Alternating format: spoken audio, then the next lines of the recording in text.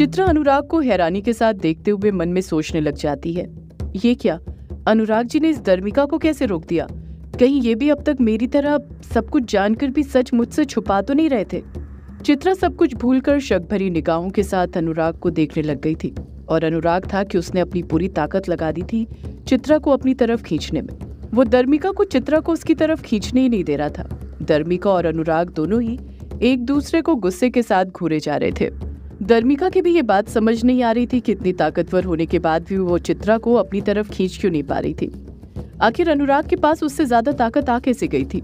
चित्रा अनुराग के भक्षानर होने के बारे में सोच ही रही थी कि उसी वक्त अनुराग की नज़र वहाँ पर पड़े एक बड़े से नुकीले पत्थर पर जाती है। अनुराग तुरंत एक हाथ से उस पत्थर को उठाता है और अपनी पूरी जान के साथ उस बेड़ी के एक हिस्से पर दे मारता है। जैसे ही वो पत्थर उस बेड़ी पर पड़ता है, वो बेड़ी टूट जाती है। चित्रा फिर ये देखकर शॉक्ड हो जाती है कि आखिर अनुराग की सिर्फ़ एक बार से वो बेड़ी कैसे टूट गई थी। अनुराग हड़बड़ाहट के साथ चित्रा से कहता है, उठिए और भागिए चित्रा जी। इतना कहकर अनुराग फिर चित्रा का हाथ पकड़ता है, अपने कंधों का सहारा देते हुए उसे उठाता है और उसके साथ भागने लग जाता है। दर्मिका वहीं खड़ी रहती है और गुस्से के साथ उन दोनों को घूरते रहती है। दर्मिका गुस्से से अपनी मुट्ठी भींचते हुए कहती है, नहीं छोड़ूँगी, किसी को नहीं छोड़ूँगी मैं। अनुराग और चित्रा एक बार फिर भागने लग जाते हैं। इस बार भी दर्मिका उन दोनों का पीछा नहीं कर रही थी, वो वहीं पर खड़ी हुई थी। वो दोनों अपनी पूरी जान लगाकर भाग ही रहे थे कि तभी चित्रा का पैर फिसल जाता है और वो धड़ाम से गिर जाती है। जैसे ही चित्रा गिरती है, वो कस कर चीखती है आ अनुराग जी! इस बार नीचे गिरने के कारण चित्रा के पैर में अंदरूनी चोट लग गई थी, जिस कारण वो उठ तक नहीं पा रही थी। अनुराग वापस से चित्रा के पास बैठता है और उसे उठाने की कोशिश करने लग जाता है। पर चित्रा लाख कोशिश करने के बाद भी उठ नहीं पा रही थी। उन दोनों के पीछे ही दर्मिका खड़ी हुई थी, जो उनकी तरफ़ गुस्से के साथ अपने कदम बढ़ा रही थी। दर्मिका गुस्से के साथ कहती है, नहीं छोड़ूँगी, किसी को नहीं छोड़ूँगी। आज तुम दोनों का यौवन मेरा होगा, सिर्फ़ यौवन नहीं, जीवन भी मेरा होगा। इतना कहकर दर्मिका अपनी डरावनी आवाज़ में हंसने लग जाती है। चित्रा जान गई थी कि अब वो उठ नहीं पाएगी। चित्रा घबराते हुए अनुराग से कहती है अनुराग जी, आप यहाँ से चले जाइए। मेरी जान की फ़िक्र मत कीजिए, अपनी जान बचाइए। अनुराग नाम में अपना सिर हिलाते हुए तुरंत पलट कर कहता है, नहीं चित्रा जी, मैं आपको यहाँ पर इस तरह अकेले छोड़कर नहीं जा सकता। चित्रा पलट कर कहती है, नहीं अनुराग जी, आप जाइए। मैंने कहा ना आप अपनी जान बचाइए। अनुराग चित्रा की आँखों में देखते हुए कहता है, अपनी ही तो जान बचा रहा हूँ चित्रा जी। आपसे ही तो मेरी ज़िंदगी है। अगर मेरी जान ही नहीं रहेगी तो फिर ये ज़िंदगी कैसी? अनुराग फिर एक बार अपने हाथ में चित्रा का हाथ थामते हुए कहता है, मैं आपका साथ मरते दम तक नहीं छोड़ूँगा चित्रा जी।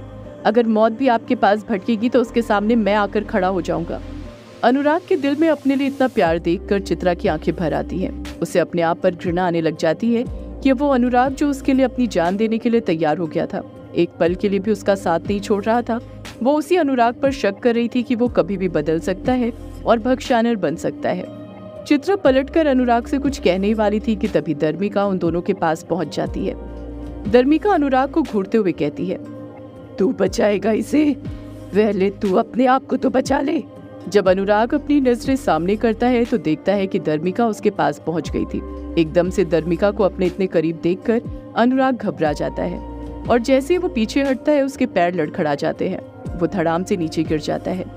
अनुराग कहीं और नहीं, बल्कि चित्रा के एकदम जस्ट बगल में गिरा था।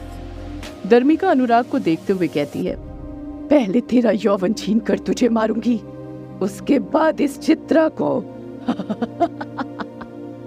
दर्मिका की बात सुनकर अनुराग घबरा जाता है। उसके समझ नहीं आता है कि वो क्या करे। चित्रा भी बहुत ज़्यादा डर गई थी। दर्मिका अनुराग को गुस्से के साथ घूरी रही थी कि तभी दर्मिका का बदन काला पड़ने लग जाता है। उसके हाथ पैर चेहरे को देखकर ऐसा लग रहा था जैसे उसकी चमड़ी सड़ने लग गई हो। दर्मिका अपने पूरे बदन को ही एक काली परछाई में बदल रही थी और जैसे ही उसकी काली परछाई अनुराग के बदन पर गिरनी शुरू होती, अनुराग का यौवन और जान दर्मिका को मिलना शुरू हो जाती। दर्मिका के कमर के नीचे तक का हिस्सा काली परछाई के रूप में बदल गया था। उसका नीचे का बदन पूरी तरह काला पड़ गया था। अचानक से आसपास एक अजीब सी बदबू फैलने लग जाती है। किसी लाश के सड़ने की बदबू। वो बदबू इतनी ज़्यादा भयानक थी कि अनुराग से वो बदबू सहन ही नहीं हो रही थी। उस गंध के कारण अनुराग का दम घुटने लग गया था।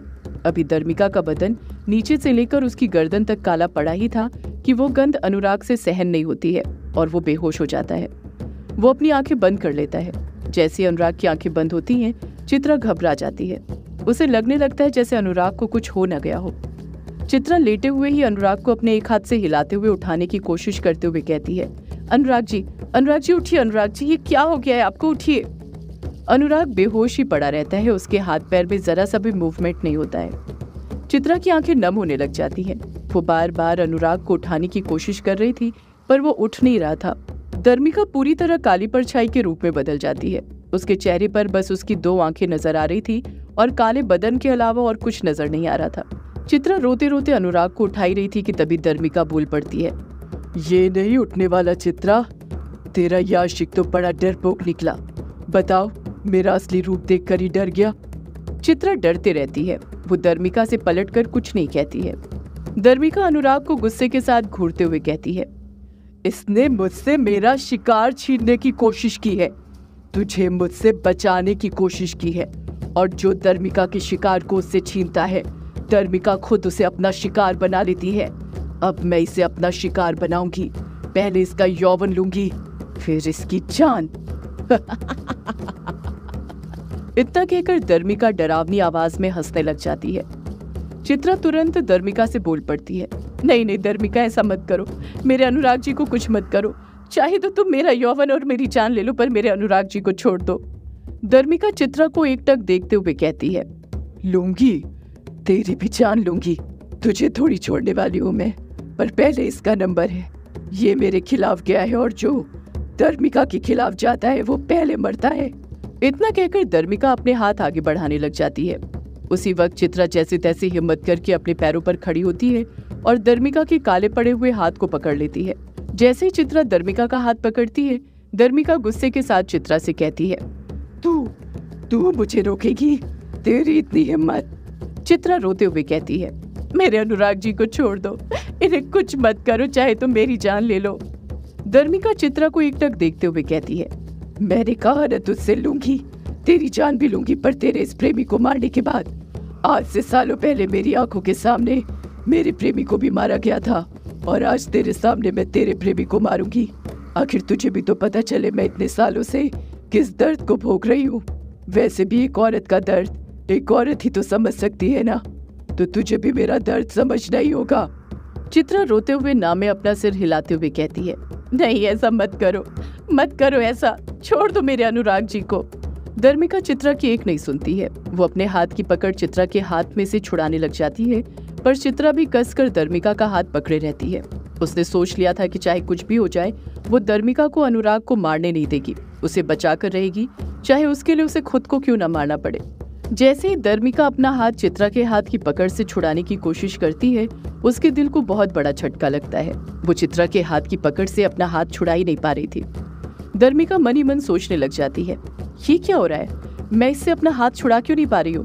पहले मैं इस चित्रा को अपनी तरफ़ खींच नहीं पा रही थी, और अब इससे अपना हाथ छुड़ा नहीं पा रही हूँ? आखिर ये सब हो क्या रहा है?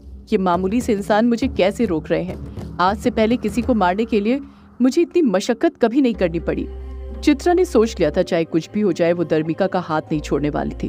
दर्मिका और चित्रा के बीच हाथापाई शुरू हो जाती है। उसी हाथापाई में दर्मिका अपनी पूरी जान लगाकर अपने हाथ से चित्रा को पीछे की तरफ़ धक्का देती है, जिस कारण चित्रा अपना बैलेंस संभाल नहीं पाती और वो गुलाटी खाते हुए पेट के बल ज़मीन पर गिर जाती है। जब चित्रा ज़मीन पर गिरती है तो उसकी चोटी जिसका उसने जोड़ा बनाया हुआ था, वो खुल जाती है। उसी वक्त तेज हवाएँ चलने लग जाती हैं। आसपास का मंजर बदलने लग जाता है। दर्मिका भी समझ नहीं पा रही थी कि उसके आसपास आखिर हो क्या रहा था। ये सब तो उसने अपनी शक्तियों से बिल्कुल नहीं किया था। चित्रा की चोटी खुलते ही उसकी कमर पर लहराने लग जाती है। चित्रा की मोटी सी चोटी उसकी कमर से भी नीचे तक के हिस्से में जा रही थी। चित्रा की चोटी उसकी कमर पर सांप की तरह रेंगने लग गई थी। जब दर्मिका की नज़र चित्रा की चोटी पर पड़ती है तो उसकी आँखें खुली की खुली रह जाती हैं। एक पल के लिए तो उसे भी अपनी आँखों पर यकीन नहीं हो रहा था। चित्रा की चोटी देखकर दर्मिका के मुँह से खुद ब खुद निकल जाता है। डायन, चित्रा तुरंत खड़ी होती है और अपने दोनों हाथ जोड़ते हुए कहती है, प्लीज़ मेरे अनुराग को छोड़ दो। अगर तुम्हें जान चाहिए तो मेरी ले लो, पर अनुराग जी की जान बख्श दो। दर्मिका चित्रा के सवालों का कुछ जवाब नहीं देती है। वो एक टक नज़र से उसकी आँख के अंदर देख रही थी और उसके बारे में पता लगाने की कोशिश कर रही थी। अगली पल दर्मिका चित्रा के बारे में सब जान जाती है और वो चित्रा को घूरते हुए कहती है, तू तो डायन है ना? जब चित्रा दर्मिका के मुँह से ये बात सुनती है तो वो घबरा जाती है। वो समझ जाती है कि दर्मिका को उसकी सच्चाई के बारे में पता चल गया था। पर फिर भी वो अनजान बनते हुए ना में अपना सिर हिलाते हुए डर के साथ कहती है नहीं, अब मैं डायन नहीं हूँ।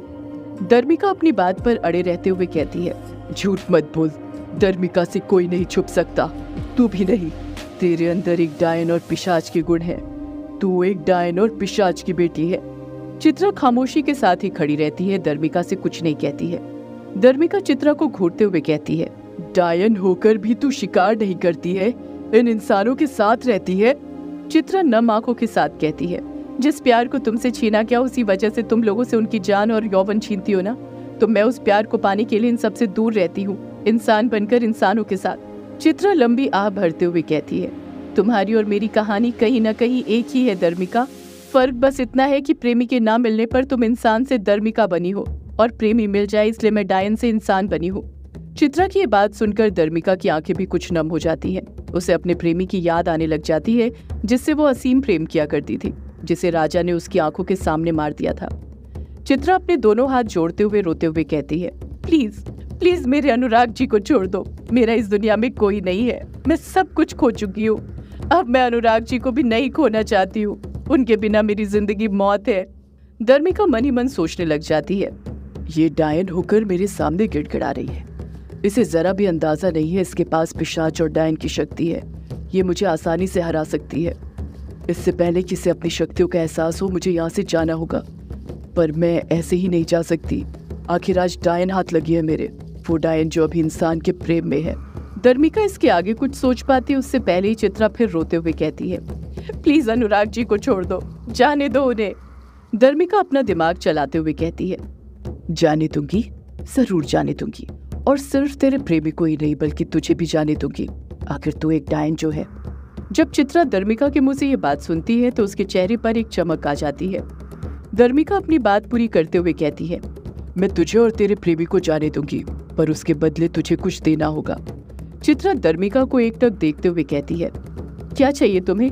तुम्हें जो चाहिए मैं सब कुछ देने के लिए तैयार हूँ। बस तुम बोलो, धर्मिका। सदियों से है पुरानी, ये है यक्षिणी की कहानी। यक्षिणी एक आग है, यक्षिणी तेरा ख्वाब है।